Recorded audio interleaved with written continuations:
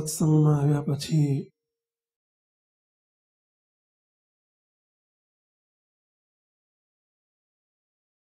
નિરંતર હર્યા રહેવાને માટે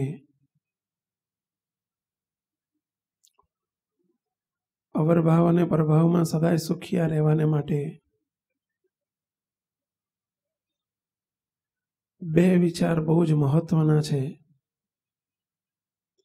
કે જે બે વિચાર નિરંતર સર્વે સંતો ભક્તોના હૈયામાં નિરંતર હોવા જોઈએ. જે વાત આપણે છેલ્લી ઘણી પૂનમોથી ચાલી રહી છે. એક મહાત્મયનો વિચાર, મળેલી પ્રાપ્તિનો વિચાર નિરંતર હોવો જોઈએ.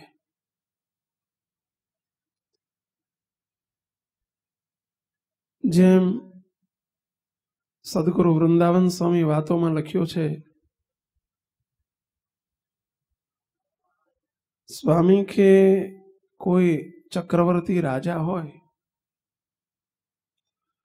એ ચક્રવર્તી રાજા એટલે એક મોટો શહેનશાહ રાજા હોય, એ કંઈ રોજ પોતાના ગામડા ગણતો નથી.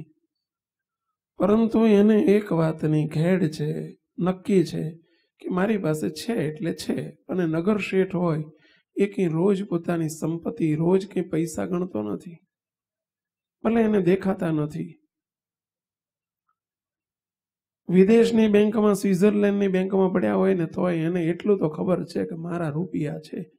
બસ એ રૂપિયાનો મહાત્મ્યનો વિચાર કહેવાય કે મારી પાસે બે કરોડ, પાંચ કરોડ, પચીસ કરોડ છે. એને કહેવાય મહાત્મ્યનો વિચાર, પૈસાના મહાત્મ્યનો વિચાર. કે જેણે કરીને એ સુખીઓ રહે છે. એનો એને આનંદ રહે છે. જોવાથી આનંદ નથી, એના વિચારથી આનંદ આવે છે. ગુણાયતાન સ્વામી વાતોમાં એક વાત લખી. સ્વામી, કે ગમે તેવો ભયંકર દુષ્કાળ પડ્યો હોય, અને એક નહીં, ઉપરા ઉપરી કદાચ સાત સાત દુકાળ પડે પરંતુ જો વખારની અંદર ઘરમાં, ગોડાઉનમાં લાખો મણ અનાજ પડ્યું છે એવી એને ખબર હોય કે મારી જોડે લાખો મણ અનાજ છે, તો એને ગમે એવો દુકાળ પડે તો એ દુખીઓ થાય કે ના થાય? એને દુઃખ રહે કે ના રહે શું થશે એનો વિચાર પણ આવે કે ના આવે? ભલે આખી દુનિયામાં દુકાળ હોય, મારી જોડે લાખો મણ અનાજ છે, એ વિચાર જ ભલે લાખો પણ દેખાતો નથી. પરંતુ એ વિચાર એને સુખીઓ રાખે છે. સ્વામીએ બીજું દ્રષ્ટાંત આપ્યું કે કોઈનું ખિસ્સું કપાઈ જાય અને બસો પાંચસો રૂપિયા ખિસ્સું ખિસ્સામાં હોય ને કપાઈ ગયા. પણ એને બેંકમાં લાખો રૂપિયા પડ્યા હોય, કરોડો રૂપિયા પડ્યા હોય, તો એને બસો પાંચસો રૂપિયા કદાચ કે પાંચસો હજાર રૂપિયા કે પાંચ પચીસ હજાર રૂપિયા જતા રહે. તો એને દુઃખ લાગે છે કે નથી લાગતું? કેમ? એને એક જ વિચાર આવે છે કે મારા બેંકમાં લાખો કરોડો રૂપિયા પડ્યા છે. ભલે ક્યાં? એ કરોડો છે એના વિચારથી. એ પૈસાનું મહાત્મય છે એના વિચારથી. એ દુખ્યો નથી થતો. સદાય આનંદમાં રહે છે. જેમ બે દિવસ પહેલા મારે કેમ્પમાં એક દ્રષ્ટાંત આપ્યું હતું કે તમે બહારગામ જવા નીકળ્યા છો. બે દિવસનો પ્રોગ્રામ છે અને પાંચ સાત દિવસનો ભાતું છે જોડે.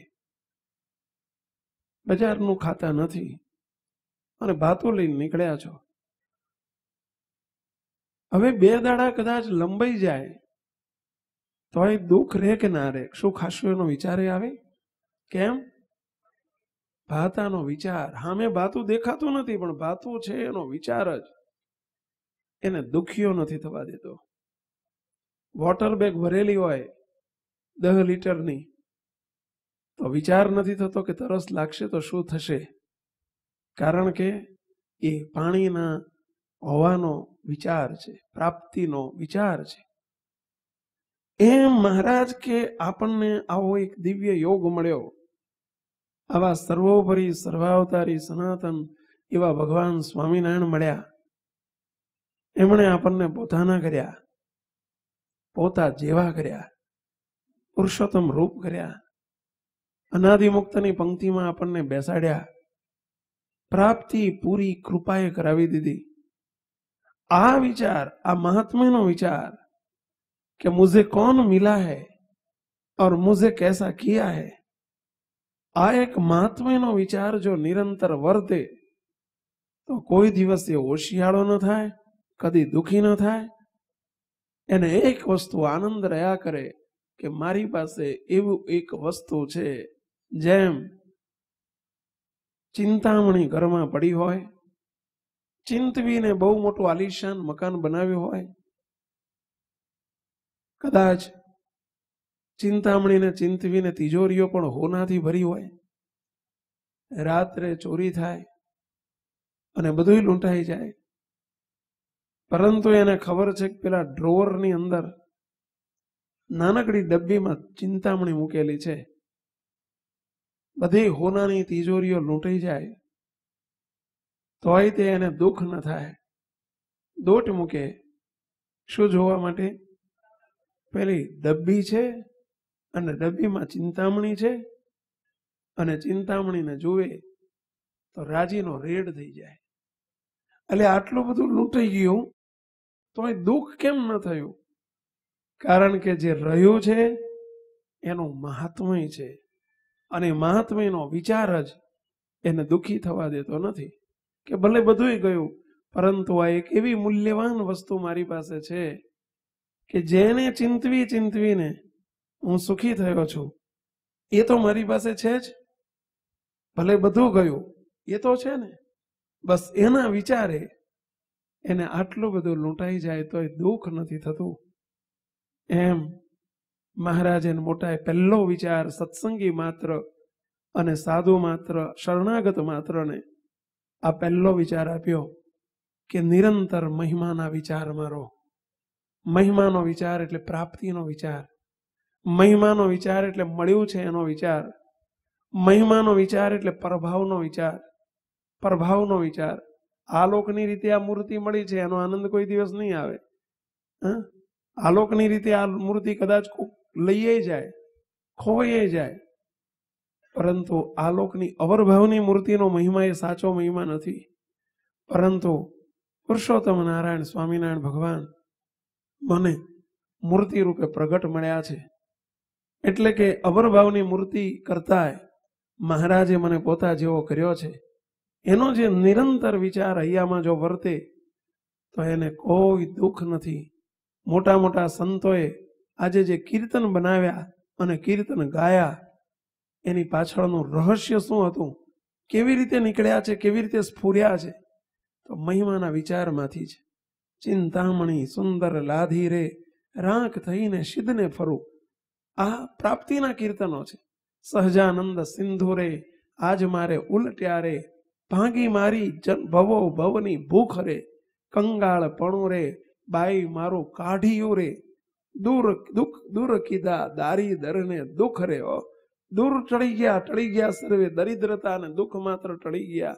ભગવાન સ્વામિનારાયણ મળ્યા ત્યારથી. પરંતુ આપણને એનો મહિમા કરતા પચીસ હજાર રૂપિયા ગયા. પચીસ હજાર ગયા, પણ જેનું મૂલ્ય ન થયું, મૂલ્ય ન થાય, એવા મહારાજ તો આપણી પાસે છે. એનો વિચાર આપણને હંમેશા આનંદમાં રાખશે મુક્તો. અને એટલે આપણે મહિમા વારંવાર આપણને મોટા પુરુષ બાપજી, આપણને મહિમા મહિમા, મહિમાની વાતો કે ભગવાન સ્વામિનારાયણ કેવા છે, સ્વામિનારાયણ કેવા છે, સ્વામિનારાયણ ભગવાન કેવા છે, એની વાતો આપણને ઘૂંટાવે છે. એનું શું કારણ છે? કે સમયે આપણે એ મહિમા છે એ મહિમાનો વિચાર કરીને આનંદમાં રહી શકીએ છીએ? આપણે ઉત્સાહમાં રહી શકીએ છીએ? સંસાર છે, વ્યવહાર છે, અવરભાવ છે, સુખ દુઃખ આવ્યા કરવાનું. એ તો ચાલ્યા જ કરે. ધર્મ પિતા ભગવાન સ્વામિનારાયણના અવરભાવમાં પિતા હતા, તો પણ અવરભાવ હતો. કહેવાય છે, શાસ્ત્રોમાં લખ્યું છે કે ધર્મ પિતાને અઢાર ગામ બદલવા પડ્યા છે. કેટલા ધર્મ પિતાએ અહીંથી અહીં અહીંથી ઉચાળા ભરતા. બે ટંક રોટલાનું મેળ નહોતો પડતો. અવરભાવ છે. આપણા બાપાશ્રી અવરભાવમાં જુઓ, નાના હતા ત્યારે. લખાણમાં આવે છે, જીવન વૃત્તાંતમાં બાપાશ્રીના જીવન વૃત્તાંત જીવન ચરિત્રમાં કેટલો દુબળો વ્યવહાર હતો. પર્વતભાઈ જેવા મોટા મુક્ત કેવો દુબળો વ્યવહાર હતો. આજે મજૂરી કરવા જતા વિચાર કરો. અવરભાવની આ બધી રીત છે.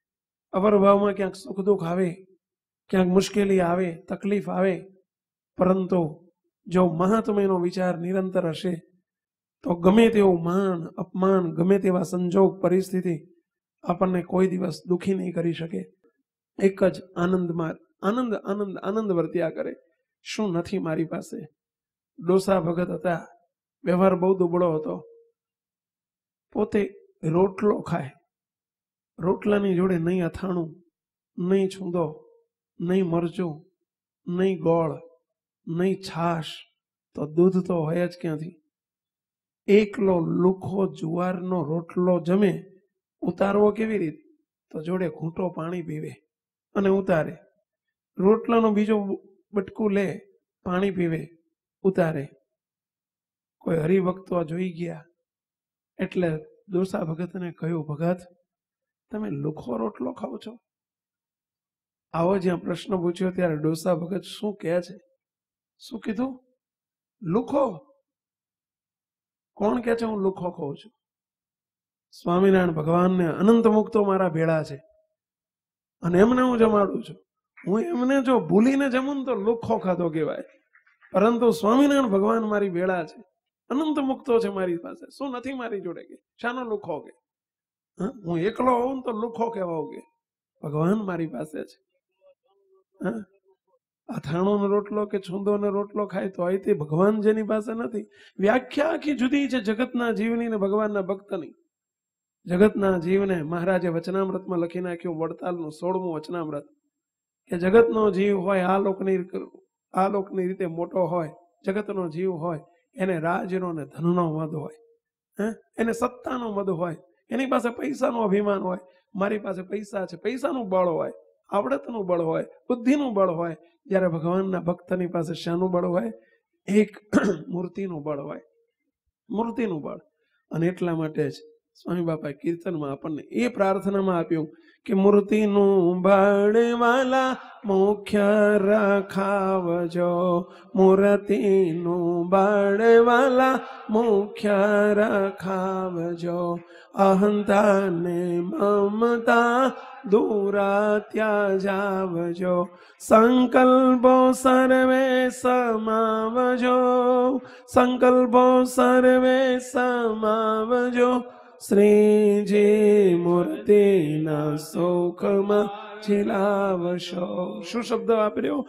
મૂર્તિનું બળ હોય તો જ અહમ અને મમત્વ, અહંતા અને મમતા ટળે અને અહમતા અને મમતાના સંકલ્પો એમને ન ઉપજે એવી હે મહારાજ, અમારી પર કૃપા કરજો. આવી પ્રાર્થના કરી. હે દયાળુ, અહંતા અને મમતા એ જ મોટામાં મોટી માયા છે. છેલ્લાનું ઓગણચાલીસમું અજ્ઞામૃત દેહને વિશે અહમ બુદ્ધિ દેહ સંબંધી પદાર્થને વિશે મમત્વ બુદ્ધિ, એ અહંતા અને મમતા રૂપી માયા ક્યારે ટળે? તો જ્યારે મૂર્તિનું બળ આવે ત્યારે, ભગવાનનું બળ આપણને વર્તે ત્યારે કે ભગવાન મારી સાથે છે. એટલે મહારાજ કે મહિમા સમજ્યાનો હેતુ શું છે? મહિમા સમજ્યા પછીનું સ્ટેપ શું છે? તો નિરંતર જે આપણી પાસે છે, જે પ્રાપ્તિ છે, જે પ્રભાવનો યોગ થયો છે, પ્રભાવમાં ભગવાન સ્વામિનારાયણે આપણને જે કોલ આપ્યા છે, પ્રભાવનું સ્વરૂપે મોટા પુરુષ આપણને મળ્યા છે, પ્રભાવની પ્રાપ્તિ કરાવી છે, આવો દિવ્ય મહારાજ કે સમાજ મળ્યો છે, કારણ સત્સંગનો યોગ મળ્યો છે. નિરંતર એના મહિમાના વિચાર નિરંતર રહેવા જોઈએ અને મહિમાના વિચારથી જ આ જીવાત્માને એનું નિરંતર આનંદ, એનું બળ મળેલી પ્રાપ્તિનો યોગ વર્તે છે. મુક્તો આજે તમે જો અહીંયા બેઠા છો એટલે તમારી જોડે અત્યારે કંઈ ખિસ્સામાં પૈસા લઈને નથી આવ્યા, પણ છતાંય તે કોક કદાચ તમારો ઉઘરાણીવાળો આવે ને કંઈક માગતો હોય અને પાંચ જણની વચ્ચે કદાચ આબરૂ લેવું લાગે ને તમારા બેંકમાં પૈસા પડ્યા હોય, જો તમે આમ ધડ દઈને કહી શકો, હાજે આવજે, લઈ જજે, જા. પતી ગયું. એનો આનંદ કેમ છે? છે એટલે ને. પણ છે એનો તમને વિચાર છે કે મારી પાસે છે, મારી પાસે છે, મારી પાસે છે. ભલે અત્યારે છે ને ખિસ્સામાં નથી, પણ છે. એમ આપણી પાસે છે, એ જ મહિમાનો વિચાર. શું છે એનો વિચાર? એ મહિમાનો વિચાર. કે આપણી પાસે શું છે? હવે તકલીફ શું છે? કે આપણી પાસે અવરભાવમાં છીએ ને, આપણે દેહ ધારી છે ને, કે દેહ ભાવે યુક્ત વર્તીએ છીએ. એટલે છે જે શું છે, તો લૌકિક વસ્તુ છે ને, એનો આનંદ વર્તે છે. જો હમણાં ઘડિયાળ બાંધી હોય દસ હજાર રૂપિયાની, તો મેં દસ હજારની ઘડિયાળ બાંધી. એનું તરત વર્તે. કરોડોની ચીજ આપણી જોડે છે, નથી વર્તું. એનું કારણ શું છે? નાનું બાળક હોય, આ છોકરું હોય ને એના હાથમાં હજારની નોટ આપી હોય, તો એને એનો આનંદ ના વર્તે. હે? બે ચોકલેટનો જેટલો આનંદ વર્તે, એટલો હજાર રૂપિયાની નોટનો ના વર્તે, બોલો. મહારાજ ગઢપુરમાં કાર્યાણી પધારેલા મહારાજે દેખાડ્યું. મહારાજ સભા કહીને બેઠા છે ને કેરીનો ટોપલો કોઈએ લાઈન મૂક્યો? આવડો નાનો જોઈતો ખાચર બેઠો તો મહારાજે તરત જ તે કેરી લીધી બે હાથમાં બે. પેલા જોઈતાને કહ્યું, જોઈતા, લે કેરી. એટલે દોડતો આવ્યો, કેરી લેવા. મહારાજ કે, જોઈતા ખાચર, તારા ગળામાં પેલી સોનાની ઉતરી છે ને, એ કાઢી આપ, તો કેરી આપું. એને ખટ દઈને કાઢી દીધી. કેરી લઈ લીધી. મહારાજ કે, એને સોનાના દોરાની કિંમત નથી. એને ખબર જ નથી કે આ હોનાના, દોરાના બદલામાં ગાડું ભરીને કેરીઓ આવે એવી એને ખબર નથી. એને બે કેરીનો મહિમા સમજાણો છે. આ જોઈતો ખાચર એટલે કોણ? ખબર છે તમને? તમે જોઈતા ખાચરને જોયેલો જ પેલા હા? તમે આ કરો છો, પરંતુ અમારી આગળ જ આ કરો છો. કાયમ જોઈતા જ રહીએ છીએ આપણે. હા? પરંતુ જોઈતા ખાચરને, જેવું છે આ લોકની વસ્તુનું આપણને ભાન છે. આ લોકની મોટેપ મળે એનો આનંદ છે. આ લોકનો પૈસો મળે, એનો આનંદ છે.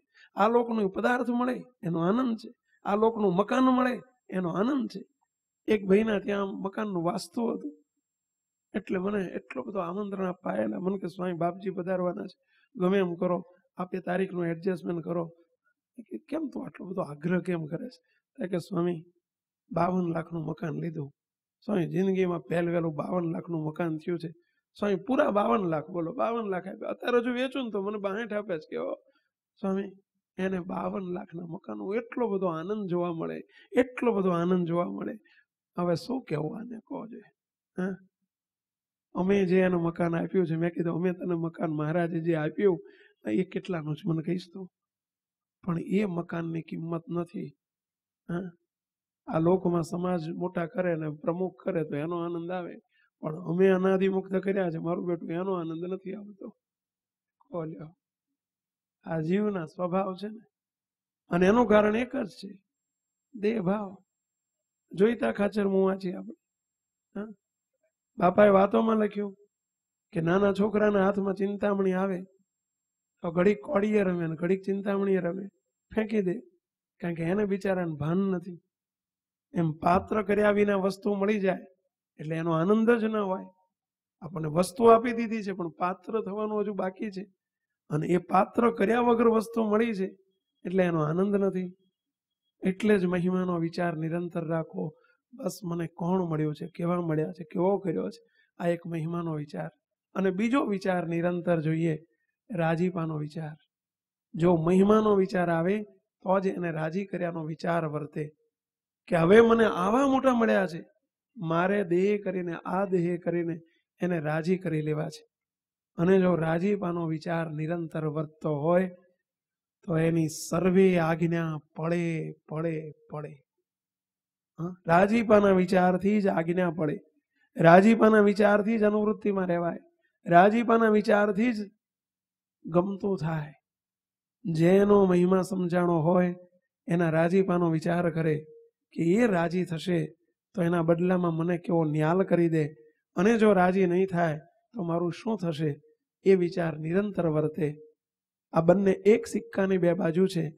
એક સિક્કો એટલે મહાત્મ્યનો વિચાર અને એની બીજી સાઈડ એટલે રાજીપાનો વિચાર. એને આપણે સરખાવ્યું છે અગાઉ કે શરીરની અંદર બધા તંત્ર કામ કરે છે. પાચન તંત્ર છે. તમે જુઓ તો ઉત્સર્ગ તંત્ર છે. બ્લડ સર્ક્યુલેશન, રુધિરાભિસરણ તંત્ર છે. પરંતુ બે તંત્ર એવા છે કે એ તંત્રમાં સહેજ પણ ડિસ્ટર્બન્સ ઊભું થાય તો ન ચાલે.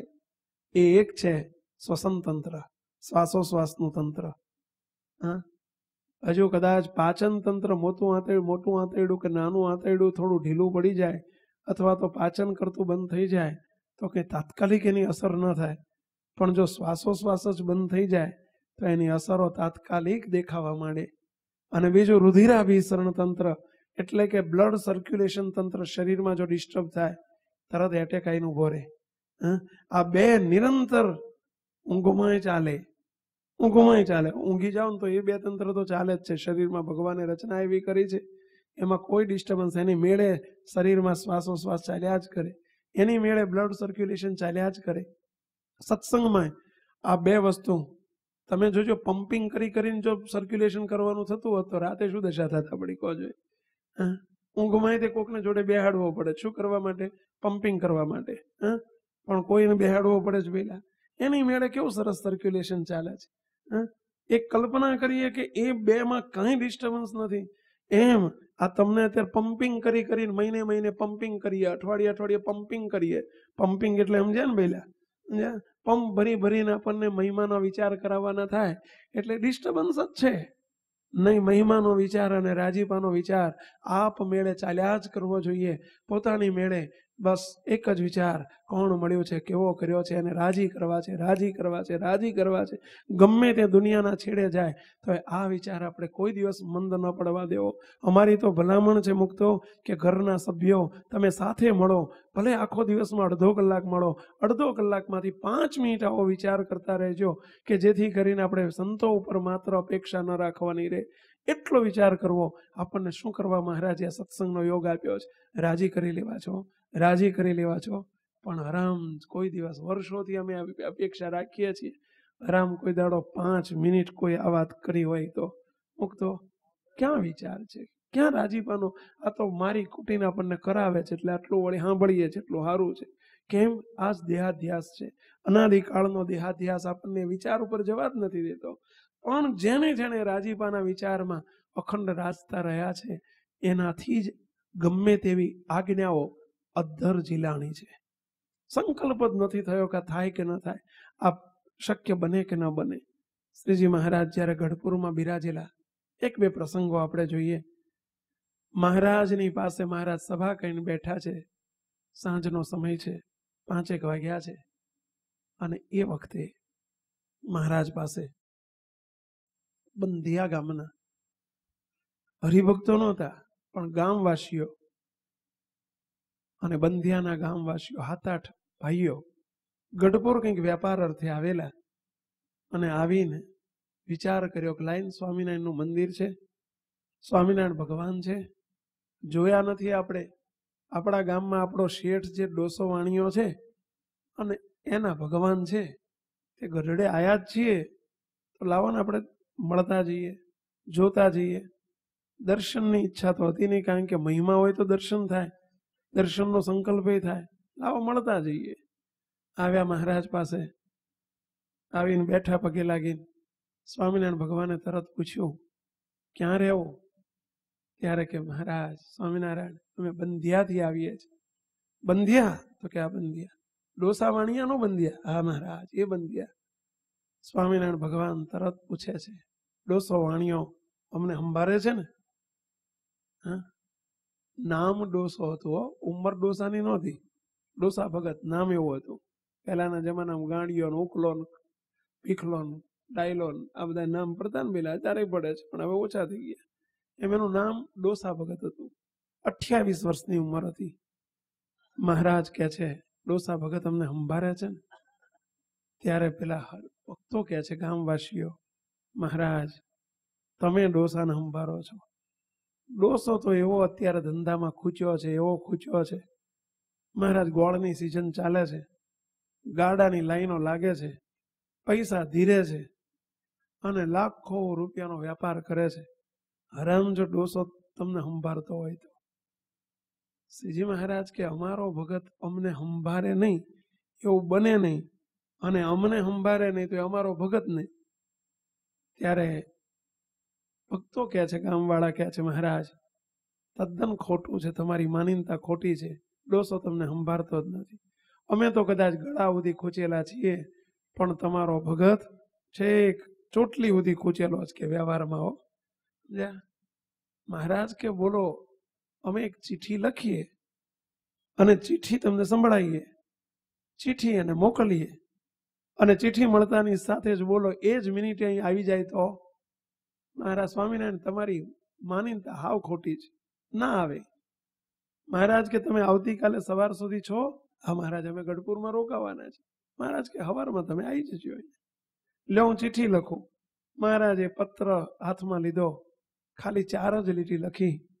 ડોસા ભગતને માલુમ થાય કે જ્યાં તમે બેઠા હોય ત્યાંથી તાત્કાલિક ઊભા થઈ જવાનું. કોળીઓ જમવા બેઠા હોય ને કોળીઓ હાથમાં લીધો હોય, તો કોળીઓ મોંમાં નહીં મૂકવાનો, થાળીમાં મૂકી દેવાનો. તમારે જો માથે પાઘડી ન બાંધી હોય, તો પાઘડી બાંધવા રોકાવાનું નહીં. એ જમાનામાં પાઘડીઓ બાંધતા. જોડા પહેર્યા ન હોય તો જોડા પહેરવા રોકાવાનું નહીં. ચિઠ્ઠી મળે કે તુરત? તાત્કાલિક. ખેતરમાં હોય તો ઘેર જવાનું નહીં. તાત્કાલિક આ ચિઠ્ઠી મળે કે તુરત ગઢપુર આવી જજો.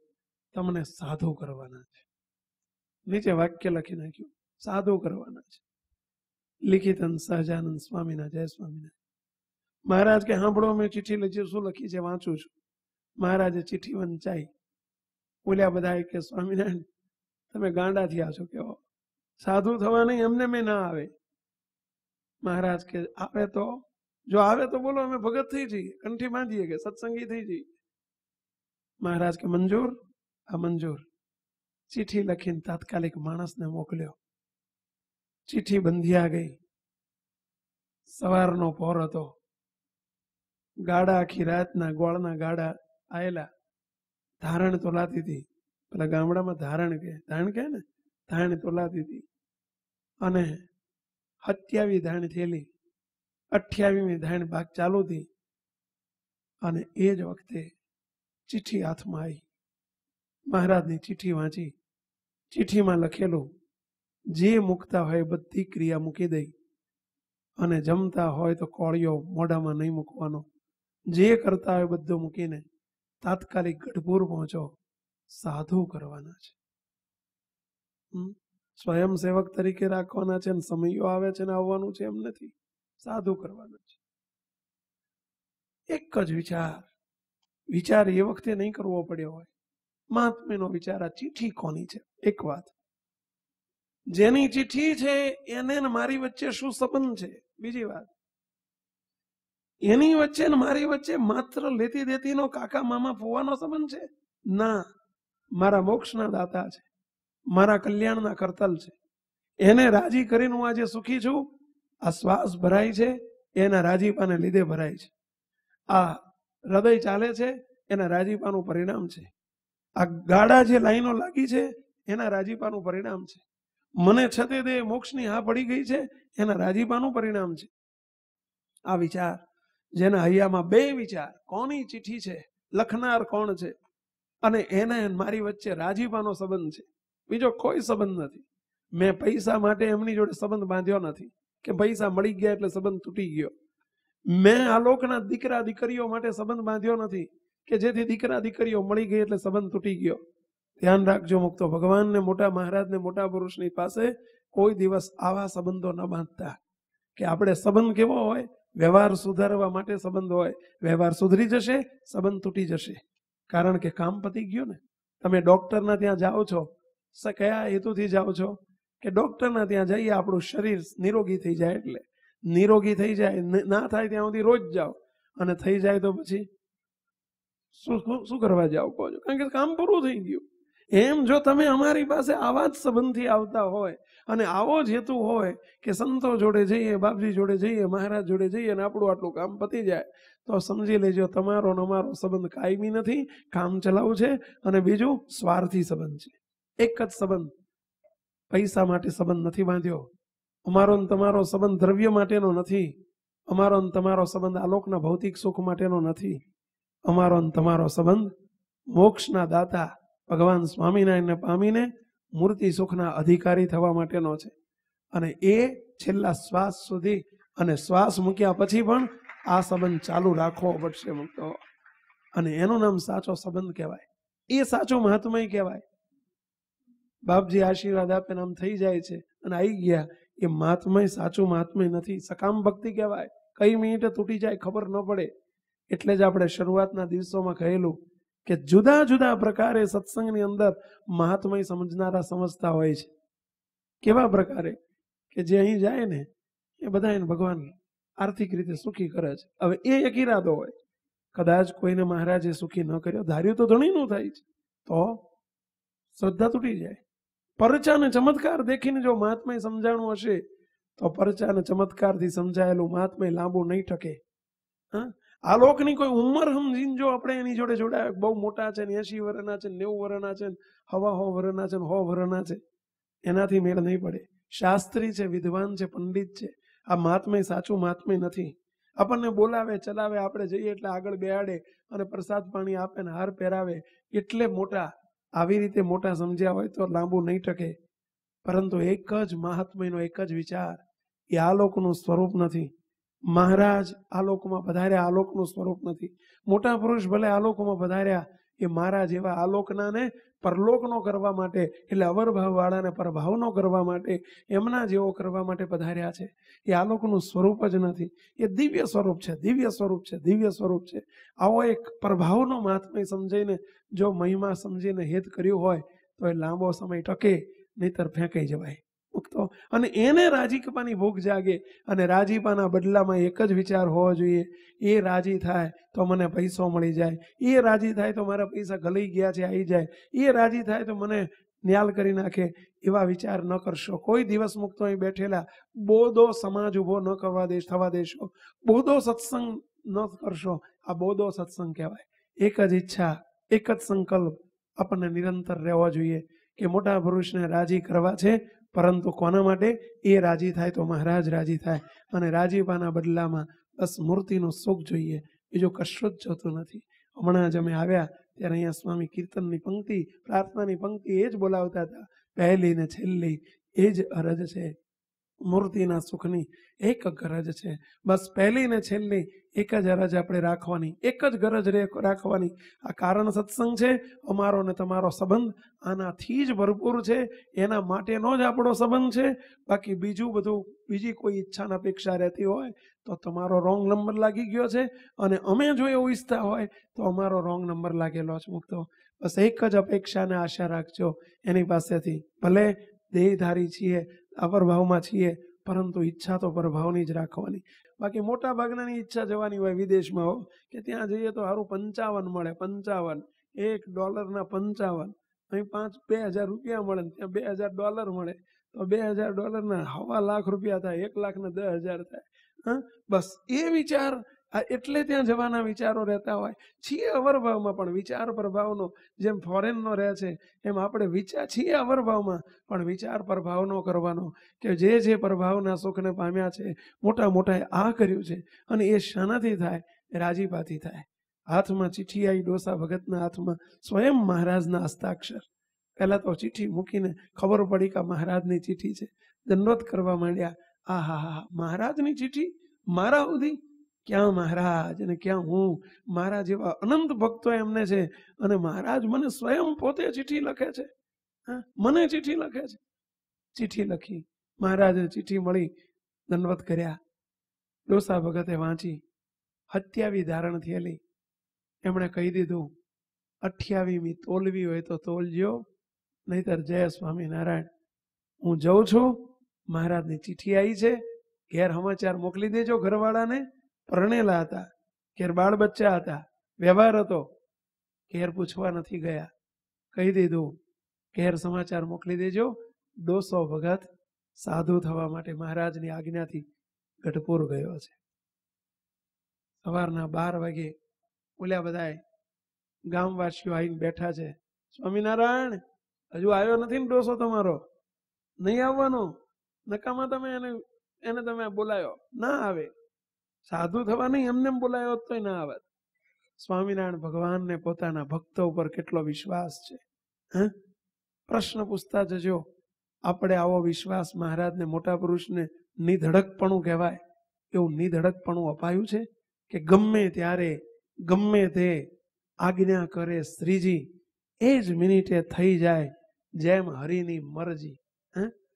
બસ, મહારાજને, મોટા પુરુષની ગમે ત્યારે ગમે તે આજ્ઞા કરે, હાથ જોડીને ભલે બાપા, ભલે દયાળુ, આપની આજ્ઞા મને મંજૂર છે. મુક્તો આવી એક ટેવ પાડતા શીખજો જીવનમાં. આનું નામ ભક્તપણું કહેવાય, આનું નામ સમર્પણપણું કહેવાય, આનું નામ સમજણ કહેવાય. એટલે નિષ્કુળાન સ્વામીએ લખ્યું છે કે થઈ રહેવું સંતના વેચાણ. આનું નામ સંતના ગમતામાં વર્ત્યા કહેવાય. આનું નામ આત્મબુદ્ધિ કરી કહેવાય. આનું નામ સત્સંગ થયો કહેવાય.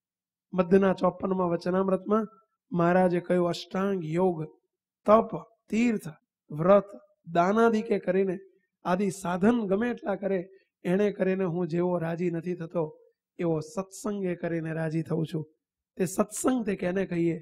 તે મહારાજે એ જ દ્રષ્ટાંત આપીને કહ્યું કે જેમ કોઈ રાજા હોય અને રાજાને મોટી ઉંમરે વાંચ્યો હોય, મોટી ઉંમરે દીકરાનો જન્મ થયો હોય અને એ દીકરો એટલો બધો વાલો હોય, ખભા ઉપર બેહે, માથામાં ગુંબા મારે મૂછ્યું તાણે, ગામમાં જઈને તોફાન કરી આવે, ગમે એટલી પરેશાની કરે, તો એ રાજાને છોકરાનો અવગુણ નથી આવતો. કેમ નથી આવતો? કારણ કે દીકરાની સાથે આત્મબુદ્ધિ કરી છે. હા? એને મહિમા સમજીને એની સાથે આત્મબુદ્ધિ કે છે કે મારો હાથ ખોટનો એક દીકરો છે. મુક્તો, આપણે તે સ્વામિનારાયણ ભગવાન શું આપણા માટે બે ચાર પાંચ છે? શું મળેલા આપણને સત્પુરુષના મળેલો યોગ એ શું સામાન્ય છે મુક્તો બસ એનો મહિમા સમજાય અને એ આત્મબુદ્ધિ થાય તો આત્મબુદ્ધિની દુનિયા આખી જુદી હોય. ડોસા ભગતે તરત કહી દીધું, ઘેર સમાચાર મોકલી આપજો, હું નીકળી જાઉં છું સાધુ થવા. કોઈ સંકલ્પ નથી કર્યો. બસ વચન એ પ્રવૃત્તિ, વચન એ નિવૃત્તિ. એના સંકલ્પમાં ભેળા ભળી જવું એ જ ભક્તનું લક્ષણ છે. એના રાજીબામાં ખપી જવું એ જ ભક્તનું લક્ષણ છે. અને એટલા માટે આત્મબુદ્ધિની દુનિયાની પ્રાર્થના અને પ્રાર્થનામાં એટલા માટે કહ્યું કે આપના તે આભમાં હું નાનો પારે વડો, આપના ઈશારે ઓડી જાઉં આપના વચન મારા જીવનનો રાહ છે. આપની રૂચિમાં જીવી જાઓ. શબ્દ બોલવાનો નથી હો. જીવનલક્ષી કરવાનો છે. કેવો શબ્દ બતાવ્યો? આપના વચન મારા જીવનનો રાહ છે. હા? જીવનનો રાહ પૈસો ન કીધો, સંપત્તિ ન કીધી, સગા સંબંધી ન કીધા. કયો રાહ કીધો? રાહ એટલે રસ્તો. આપણા જીવનનો રસ્તો આ હોવો જોઈએ. કયો? કે આપના વચન મારા જીવનનો રાહ છે અને આપની રુચિમાં જીવી જાઓ બસ એની રુચિ એ આપણો રસ્તો, એની આજ્ઞા, એમનું વચન એ આપણો રસ્તો. એ કે આ રસ્તે જવાનું છે. ભલે બાપા, એમ કે નહીં પાછો આવી જા, આ રસ્તે જવાનું છે. ભલે બાપા એ આપણા જીવનનો રાહ બનવો જોઈએ. કે આપની ઈચ્છામાં આયખો યોગાડવો આપ ચાહો એમ મારે રહેવું. શબ્દ કેવો વાપર્યો? હે મહારાજ, આપની ઈચ્છામાં આયખો વગાડવું આયખો એટલે આ જીવનને વગાડી દેવું. હવે મહારાજની ઈચ્છાની જાણ કોના થકી થાય? મહારાજ તો ડાયરેક્ટ પ્રતિમા સ્વરૂપે દર્શન આપે છે. પ્રતિમા નથી આપણને પ્રતિમા જેવા દેખાય છે. છે સાક્ષાત, પરંતુ આપણો દેહ ભાવ છે. એટલે મહારાજ પ્રતિમા ધર્મ અપનાયો છે. કારણ કે આપણે ખમી ન શકીએ. એની મોટપને, પ્રભાવને, તેજને, લાવણ્યતાને, સામર્થ્યને, ઓજસને ખમી ન શકીએ. એટલા માટે કૃપા કરીને મહારાજ આપણને મનુષ્ય જેવા અવરભાવમાં દેખાય છે.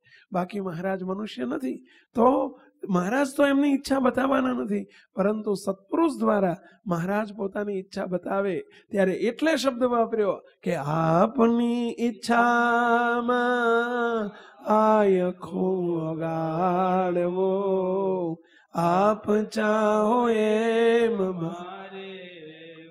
શબ્દ હે પ્રભુ, આપના ગમતામાં જીવન જીવવું છે.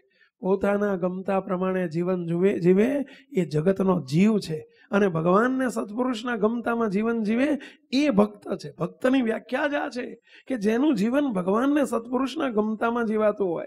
જે પોતાના ગમતા મુજબ જીવે એ મનમુખી અને જે ભગવાનને સંતના ગમતામાં જીવે એ ગુરુમુખી.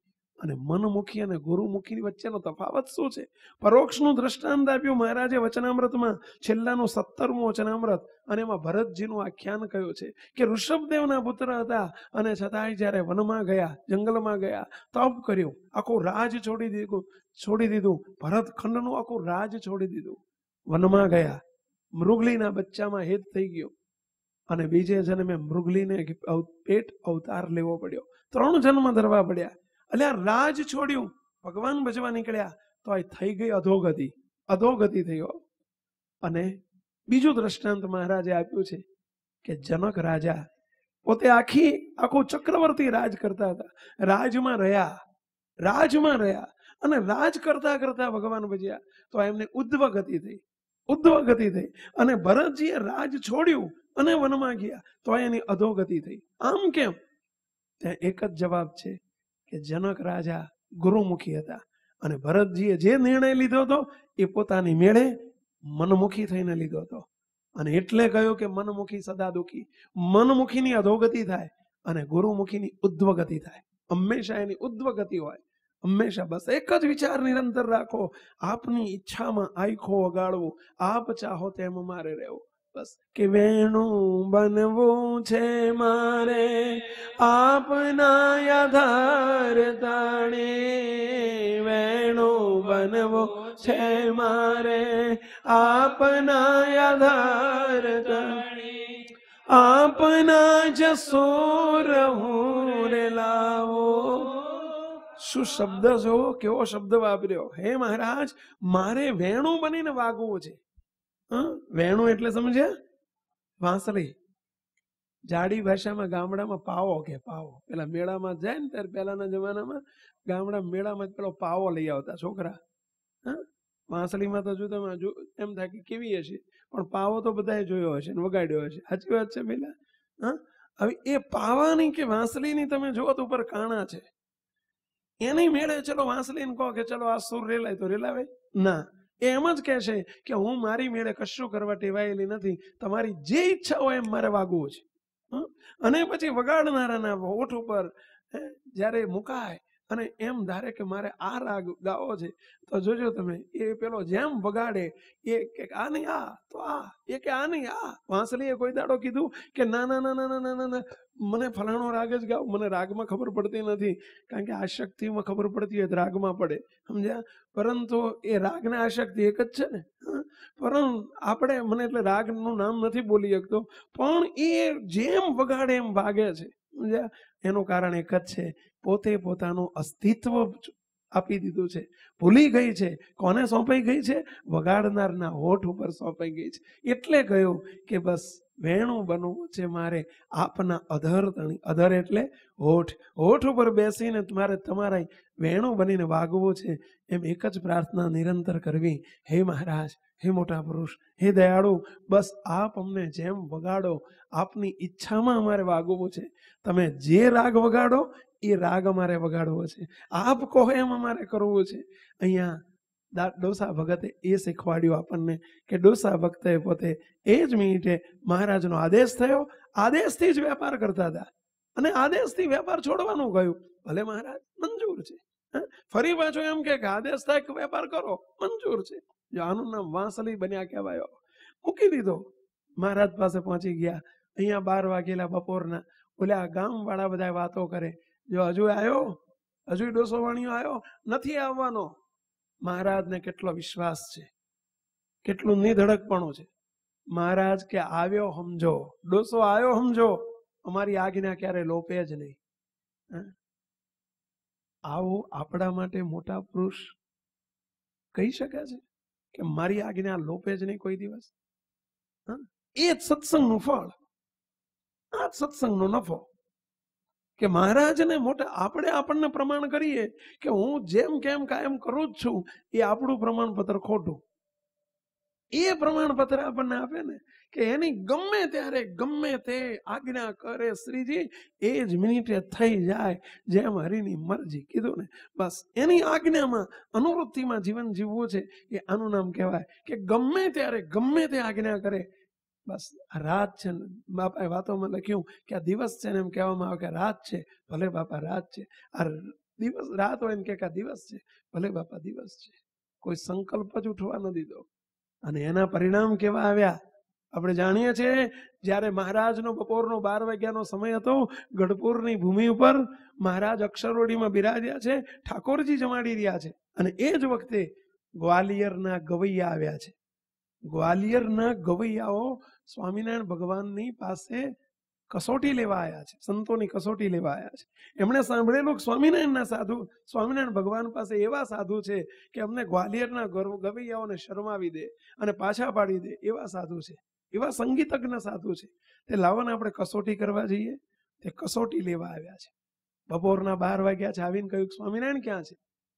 એમને કઈ મહિમા નતો સ્વામિનારાયણ ક્યાં છે? તો કે જમવા બેઠા છે. બોલાવો, અમારે કામ છે. ક્યાંથી આવો? તો કહેજો ગ્વાલિયરના ગવૈયા આવ્યા છે. મહારાજને સમાચાર આપ્યા, મહારાજ ગ્વાલિયરના ગવૈયા આવ્યા છે ને તમને મળવું છે, ઉતાવળ કરે છે. મહારાજ કે, કહો, અમે આવીએ છીએ. સમજ્યા? એટલે આ બે રસ્તા જુદા છે ને, આ લોકની બહુ ચોજાળો જે હોય ને ભગવાનના માર્ગે બહુ પાવરફુલ થઈ જ ના શકે. એ ઇલોડિયો જ હોય અને આ લોકોમાં જે ભગવાનના માર્ગમાં પાવરફુલ હોય ને, એ આ લોકોમાં હિલોળિયો જ રહે. એટલે એને બહુ ઉજ ના પડે. પણ મારો હારું વ્યવહાર માર્ગ એવો છે પાછો કે વ્યવહારમાં આ લોકોની કંઈક આવડત બુદ્ધિ હોય તો જ હારો વ્યવહાર હોંપાય. નહીં તો ઊંધું મારે.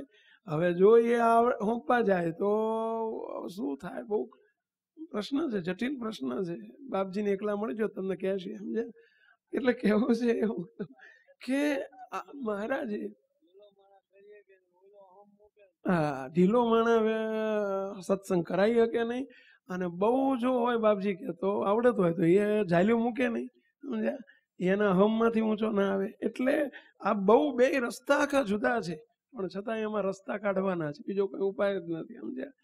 અહીંયા પેલા ગવૈયા આવ્યા અને ગવૈયાએ કહ્યું, સ્વામિનારાયણને કહો, મારે મળવું છે. મહારાજ કે કહો આવીએ છીએ? મહારાજ જમાડીને બહાર નીકળ્યા. ગવૈયાને કહો આવો આવો, પધારો પધારો, મહારાજ. આ લોકોની રીતે થોડું સન્માન સ્વાગત કર્યું. આરબાર બે ચાર મગાયા હશે પહેરાવી દીધા. ખુશ કર્યા, કારણ કે એમને તો આટલું મળે એટલે રાજી રાજી, સમજ્યા? એ કઈ ઓછા કે અંતરનો રાજીપો લેવા આવ્યા હતા.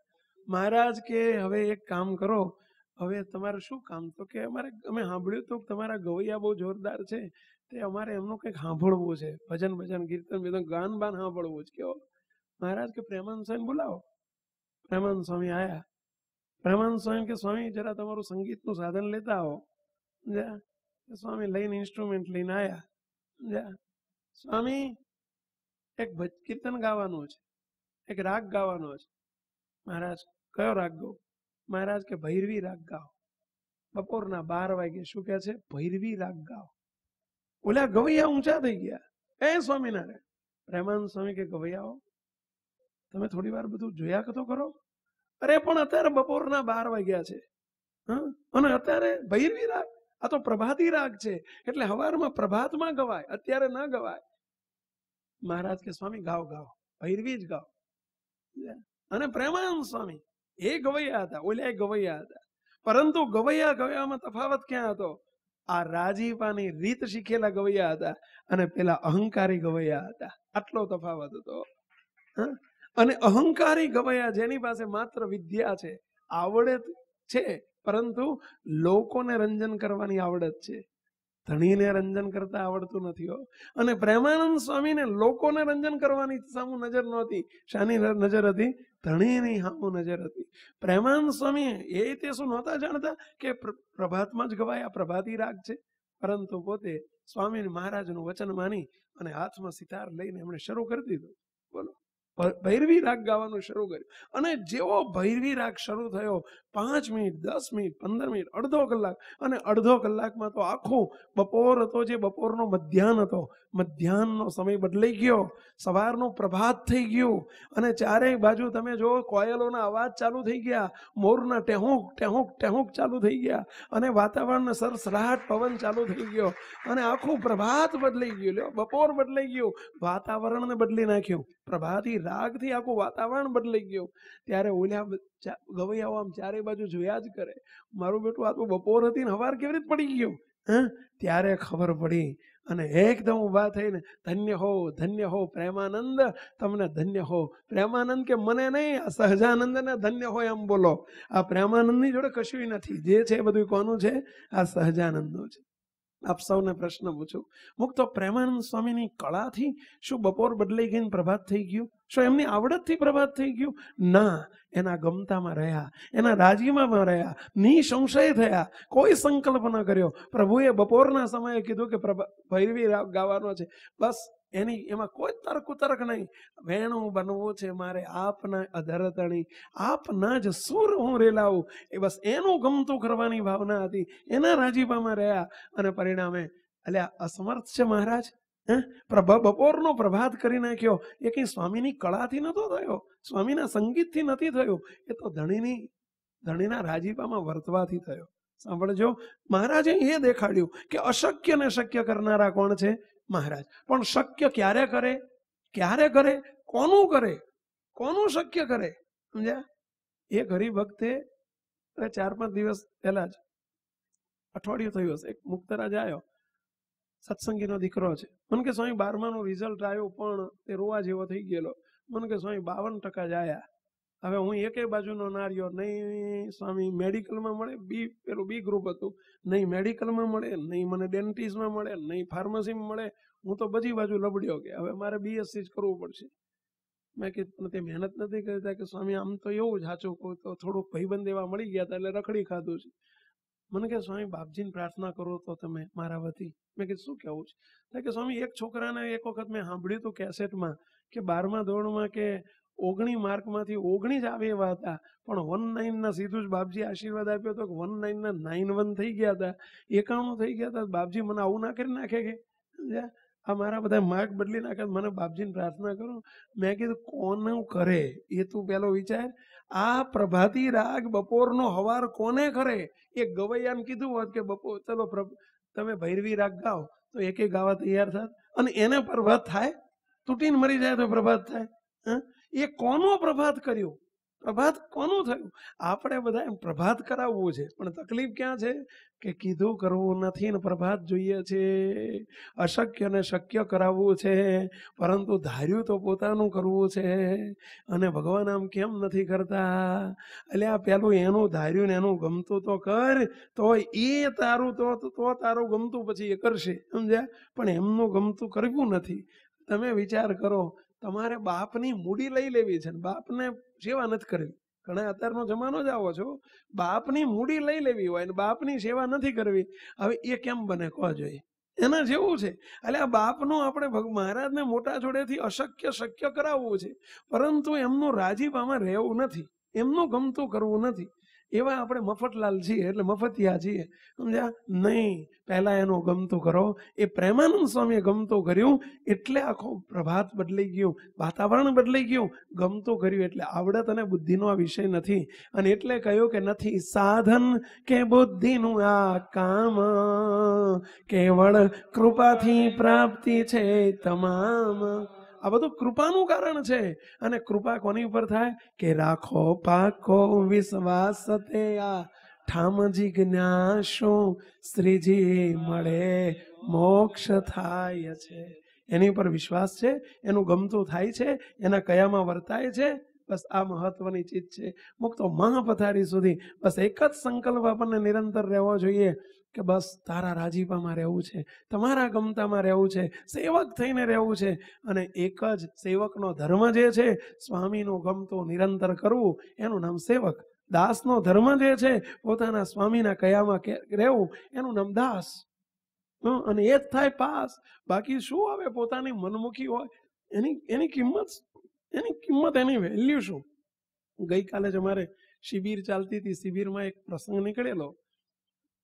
કીધું રામાનંદ સ્વામીના બે શિષ્યોની વાત નીકળેલી ગુરુ રામાનંદ સ્વામીના મુક્તાનંદ સ્વામી એક શિષ્ય હતા અને બીજા રામદાસ અરે બીજો રઘુનાથ દાસ રઘુનાથ દાસ પણ એમનો શિષ્ય હતો એ રામાનંદ સ્વામીનો શિષ્ય હતો રઘુનાથ દાસ સિનિયર હતા એટલે કે જૂના હતા અને મુક્તાનંદ સ્વામી એમના કરતા નવા હતા પછી આવેલા હતા પેલા જૂના હતા અરે અમે તો એટલે સુધી વાંચ્યું ગ્રંથમાં પુસ્તકમાં કે રઘુનાથ દાસ પોતે જન્મ સિદ્ધ બ્રહ્મચારી હતા.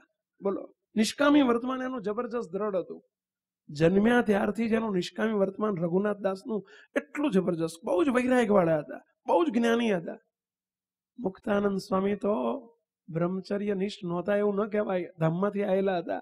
પરંતુ બ્રહ્મચર્ય પાળે એવા ગુરુને શોધવા નીકળેલા, ત્રણ ગુરુ કર્યા, દ્વારકાદાસને કર્યા ને કલ્યાણદાસ બાપુને કર્યા ને તુલસીદાસને ગુરુ કર્યા ને વાંકાનેર ગયા ને ધાંગધ્રા ગયા ને સરદાર ગયા.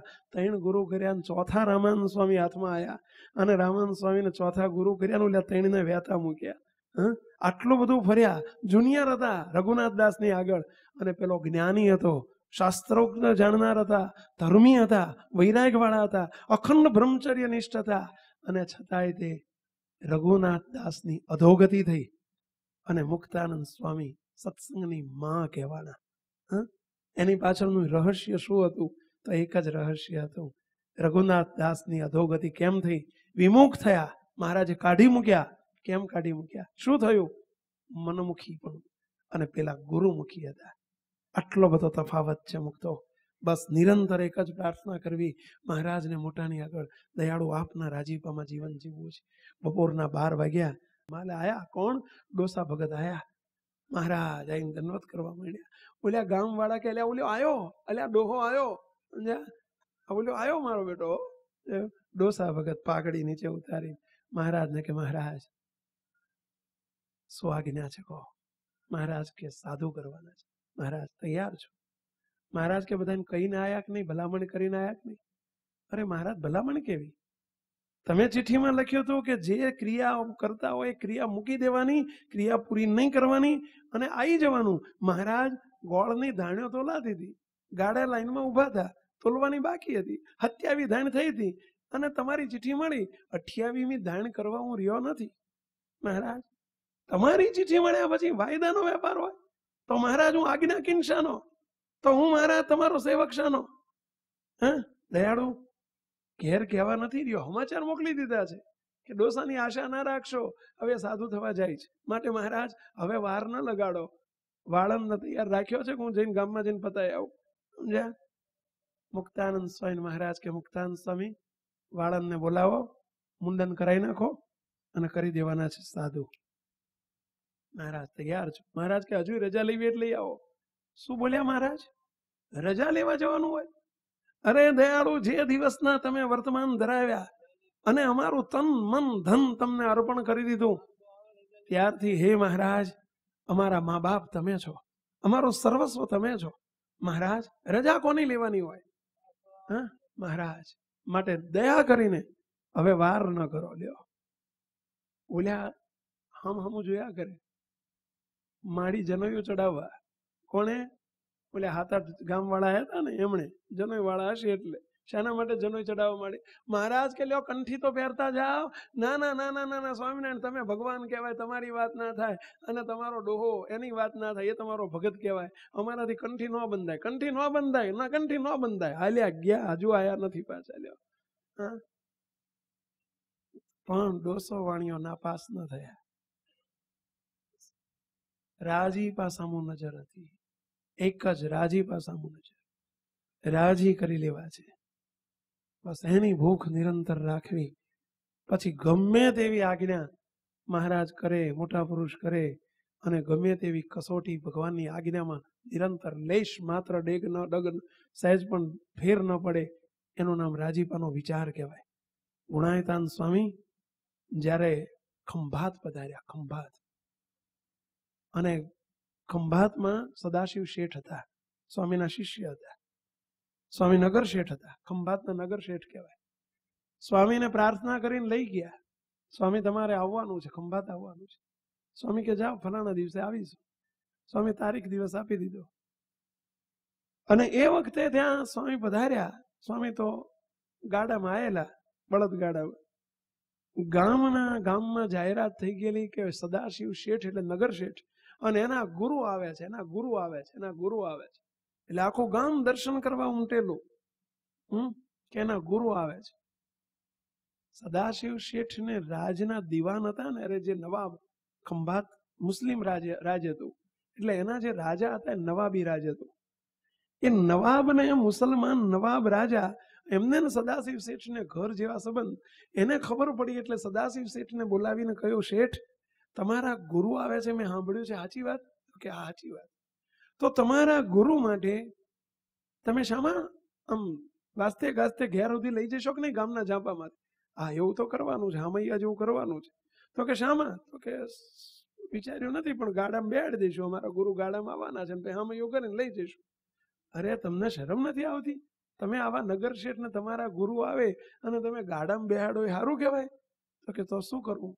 અમારો ચાંદીનો સિગ્રામ છે. રાજનો સિગ્રામ છે, રથ, ચાંદીનો રથ. અને રથમાં તમારા ગુરુને બેહાડો, લઈ જાઓ અહીંથી રાજમાંથી અને તમારા ગુરુનો મોભો સન્માન જળવાવું જોઈએ. માટે એમાં બેસાડીને લઈ જજો. તો ગામવાળા દર્શન કરશે અને હું જરૂર કામ બેઠી છું બેસીને હું રસ્તા ઉપરથી નીકળે ને તમારા ગુરુના દર્શન કરીશ કેવો ચાંદીનો સિગ્રામ આપ્યો. ખૂબ વાંચતે ગાજતે વાતાવરણ આખું એવું ભવ્ય બનાવ્યું. નગર શેઠના ગુરુ હતા. એટલે એમણે ગામના પાદરમાં સિગ્રામ શણગાર્યો છે. બધું બેન્ડ બાજાન બીજું ત્રીજું બધું એ વખતના જમાનામાં જેટલું અવેલેબલ હશે એ બધું લાયા અને બધી સવારી સરસ કાઢવાનું કર્યું. સ્વામી આયા. સ્વામી ગાડામાં બેઠા હતા અને સ્વામીને આવીને પ્રાર્થના કરી, સ્વામી, આ સામે પેલો શણગારેલો સિગ્રામ છે અને ચાંદીનો રથ છે. સ્વામી એમાં બિરાજવાનું છે. હોનાનો હતો. હોનાનો રથ હતો. તો કે હોનાના રથમાં બેસવાનું છે સ્વામી. હા? સ્વામીને જે આટલું કહ્યું ને. સ્વામી તરત સદાશિવ શેઠને કહે છે, શેઠ અમારા લુકડા હું તો જોઉં. અમે સાધુ છીએ. હમ? સોનાના રથમાં અમારાથી ન બેસાય. આમાં તો રાજા ધીરાજ હોય ને રાજા હોય ને શોભે. હમ? સ્વામીએ કહ્યું, સ્વામીને પ્રાર્થના કરી, સ્વામી, આ રાજાનો જ છે, પણ એણે આપણા માટે મોકલ્યો છે, તો આમાં બિરાજો હોનાનો સિગ્રામ છે. સ્વામી કે, તારા રાજાએ ભલે મોકલ્યો, પણ અમારાથી ન બેસાય. સ્વામી કે, અમારું જીવન સાદું હોય, આવા હોનાના સિગ્રામમાં ન બેસાય? સાધુ છીએ અમે. સ્વામીને કે, સ્વામી, નહીં બેહો ને તો મારા નવાબ વચ્ચે રસ્તામાં દર્શન કરવા બેઠા છે, જરૂર ખાવા. અને આમાં નહીં બેહો તો એમને ખોટું લાગશે. ત્યારે સ્વામી કે, શેઠ, તારા નવાબને ખોટું લાગશે એ મારે જોવાનું કે મારા નવાબને ખોટું ના લાગે એ મારે જોવાનું? અમારો નવાબ એટલે કોણ સમજ્યા? મહારાજ. આ જવાબ ક્યારે સ્વામી આપી શક્યા? એક રાજી પાસામાં નજર હતી. જે કંઈ કરવાનું છે, રાજીપામાં રહીને કરવાનું છે. નિષ્કુળાન સ્વામીને મહારાજે કહ્યું, બંધ મુઠ્ઠી રાખીને કહ્યું, સ્વામી, લ્યો પ્રસાદી. નિષ્કુળાન સ્વામી કે મહારાજ મહારાજ, મુઠ્ઠી ખોલીને આપો તો લઉં? ત્યારે મહારાજ કે, શું અમે ઝેર આપવાના છીએ? મહારાજ, ઝેર આપશો તો ઝેર પી લઈશ. તમારી પ્રસાદી ક્યાંથી? પણ મુઠ્ઠી ઉઘાડીને આપો. મહારાજ કે, સ્વામી, અમારી પર વિશ્વાસ નહીં? અરે, મહારાજ, વિશ્વાસ ના હોત તો હું સાધુ ના થયો હોત ને. હા? મહારાજ, મેં ક્યાં કીધું છે કે વિશ્વાસ નથી? પણ મુઠ્ઠી ઉગાડી ના આપો તો ચડસા ચડસી થઈ ગઈ. મહારાજ કે, લેવી છે કે નથી લેવી? મહારાજ, જો દાદાગીરી ના કરશો. હાકોટો મારીને તમારે પરાણે લેવડાવી છે. મેં કીધું ને મુઠે મુઠ્ઠી ઉગાડી ના આપો લઈશ ત્યાં મુક્તાનંદ સ્વામી પધાર્યા. મહારાજ કે, શું ચાલે છે આ બધું? શાની ચડસા ચડસી ચાલે છે? મહારાજ કે, સ્વામી, આ તમારા જોગી અને નિષ્કુળાનંદ સ્વામી બહુ હઠીલા છે. ક્યારના હું કહું છું પ્રસાદી લો પણ હઠ કરી બેઠા છે કે નહીં લઉં નહીં લઉં, મુઠ્ઠી ઉગાડીને આપો. શું અમે ઝેર આપી દેવાના છીએ? મુક્તાનંદ સ્વામી બધી હકીકત જાણી. મુક્તાનંદ સ્વામી કે મહારાજ, રાજ અઠભાળી છે, સ્ત્રી અઠભાળી છે, બાળ અઠભાળી છે, જોગી અઠ આંભળી છે. અને અત્યારે જોઉં છું કે જોગી અઠ છે, એ જોગી છે અઠ કરે. પણ ક્યાંય ભગવાન હઠ બાળી નથી. તમે તો ભગવાન છો. તમે શું કરવા હઠ કરો છો? ખોલી દો ને મુઠ્ઠી, આપી દો ને મુઠ્ઠી ઉગાડો ને એમાં તમને શું વાંધો છે? મહારાજ કે, સ્વામી, તમે તમારી નાચનું હાચવ્યું. તમે તમારી નાચનું રાખ્યું. સ્વામી કે, સ્વામી, રહેવાનું એમની જોડે. તમારા તો દર્શન થાય હવાર હાજ એક ટાઈમ. બાકી રહેવાનું છે જોગ્યો જોડે, ત્યાં સાધુ જોડે. એટલે એમનું હાચવવું જ પડે ને. મહારાજ, ખોલી દો ને મુઠ્ઠી. મહારાજ જ્યાં મુઠ્ઠી ખોલી, અંદર સોના મોર હતી. એ જમાનામાં સોના મોરો એટલે એક જાતું દ્રવ્ય કહેવાતું. હા? નિષ્કુળાન સ્વામી મહારાજ, આ તમે મને વર્તમાન લોપાવત કે બીજું કંઈ કરત અને જો અડી જવાય તો તમે ઉપવાસ કીધો છે, મહારાજ. દયાળુ હારું થયું મેં મુઠ્ઠી ખોલાવવાનો આગ્રહ તમને કર્યો એ. ત્યારે મહારાજ ભેટી પડ્યા, સ્વામીને કે, સ્વામી, આવી આજ્ઞા અમારી પણ ન માનવી? અમે આજ્ઞા કરીએ તો આવી આજ્ઞા ન માનવી. પંચ વર્તમાન સ્ત્રી દ્રવ્યનો ત્યાગ સ્વામિનારાયણ ભગવાને જે સાધુ પાસે કરાવ્યો, મહારાજ કે અમારી આજ્ઞા હોય તોય પણ નહીં માનવી. હવે આ આજ્ઞામાં વચનમાં વર્તાયું, એની પાછળનો રહસ્ય પણ શું? એક જ. આજ્ઞા કરનાર કોણ છે મહાત્મ્યનો વિચાર? અને જો હું આજ્ઞા લોપીશ, તો મહારાજ પુરાજી થશે. રાજીપાનો વિચાર. આ બે વિચારે કરીને જ આજ્ઞા પડે. નહીતર કોણ જોવાનું છે શું ખબર પડવાની છે? રાજીપાની ભૂખ જતી રહી ને કુરાજીપાની બીક જતી રહી છે ને સમજી લેવાનું કે મળદો થઈ ગયો, મળદો કહેવાય. સત્સંગમાં મળદો કહેવાય, ડેડ બોડી કહેવાય. હા? આ વિચાર નિરંતર આપણા હૈયામાં વર્તવો જોઈએ કે બસ મહારાજને રાજી કરવા છે, મોટા પુરુષને રાજી કરવા છે. એના રાજીપામાં જ સર્વે સુખ સમાયેલા છે. અને એટલે મુક્તાનંદ સ્વામી કીર્તનમાં ગાયું કે કરીએ રાજી ઘન શ્યામ રે સંતો કરીએ રાજી ઘન પછીની પહેલી જ પંક્તિમાં શું કહે છે? તમે ઘન શ્યામ ને જાણો એનો ન પોછીએ ના જે ન ગમે ઘનશ્યામને જાણો, એને નથી ગમતું, એ નહીં કરવાનું, જીવન દરમિયાન નહીં કરવાનું કરીએ રાજી ઘનશ્યામ અરે સંતો, કરીએ રાજી ઘનશ્યામ સંતો કે હરિભક્તો, આપણે સૌએ બસ સત્સંગમાં આવીને આજ કમાણી છે, આજ આપણું ફળ છે, આજ રૂપિયા, આજ દ્રવ્ય, આજ સંપત્તિ, હં? એક ભાઈ આવેલા મને કે, સ્વામી, મારી જોડે પૈસા નથી, પણ મારા મુનિ સ્વામી મારી પર બહુ રાજી હતા. ભલે પૈસા નથી, પણ બહુ રાજી હતા. હું મુંડી ઉંમરના હતા. મેં કીધું, કોણ કે છે કે તમારી જોડે પૈસા નથી? આ શબ્દ હવે ના બોલશો કે, મારી જોડે પૈસા નથી. મોટા પુરુષનો રાજીપો મળ્યો, તમે કરોડપતિ છો. હા? કરોડપતિ છો. કોણ કે પૈસા નથી? આલોકનું દ્રવ્ય સામે સરખામણી રાજીપાની કોઈ દિવસ ના થાય. રાજીપાની કમાણી એટલે અબજો રૂપિયા મળી ગયા છે. તમારી જોડે શું નથી? અને જેની જોડે કરોડો ને અબજો રૂપિયા હોય, પણ રાજીપો ન હોય, તો એ ભિખારી જ છે? ભગવાનને ભગવાનના સત્પુરુષનો રાજીપો, એનું મૂલ્ય જ ના થાય. મુક્તો બસ. એક જ વિચાર રાખો કે કરોડો મળશે, લાખો મળશે, પણ રાજીપો ન મળ્યો તો શું મળ્યું? શું વળ્યું? હે? મીંડા ગમે એટલા કર્યા, એકડો જ નથી તો શું વળ્યું? અને એ જ આગળ દિન પ્રતિદિન સત્સંગમાં પ્રગતિ કરી શકે. અને એ એના જેવો થઈ જાય. મહારાજ ને રાજી કરે, મહારાજ જેવો થાય. મોટા પુરુષને રાજી કરે, આ લોકની રીતે કહીએ તો એમના જેવો કરી મૂકે. નિષ્કામી, નિર્વાસનિક, નિર્દોષ એના જેવા કરી નાખે. હા? આ લોકનો રાજા રાજી થાય શું કરે? એક ગામ, બે ગામ ભેટ આપી. એની જોડે જે હોય જ આપે ને પેલા શું આપે? એમ મહારાજને મોટા રાજી થાય તો શું આપે પેલા એને મૂર્તિ આપી દે. જેની એની જોડે જે છે એ આપી દે. ત્યારે મહારાજને એક જ પ્રાર્થના કે, દયાળુ, બસ આપ જે આપવા માટે આ બ્રહ્માંડમાં પધાર્યા છો. મોટા પુરુષ પણ આ બ્રહ્માંડમાં શું કરવા આવ્યા છે? આ જ આપવા. હે? બાપા એ જ લખ્યું ને કે, અમે તો આવ્યા મૂર્તિ દેવા, જેને જોઈએ તે આવજો લેવા.